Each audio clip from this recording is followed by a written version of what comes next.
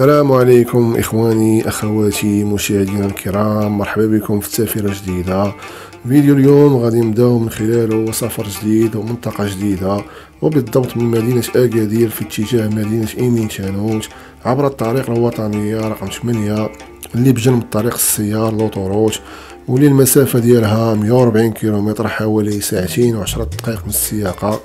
واللي بينها وبين طريق السيارة غير شي ربع ساعة ديال التأخير واقتصاد في المصروف بحوالي 60 درهم تقريبا.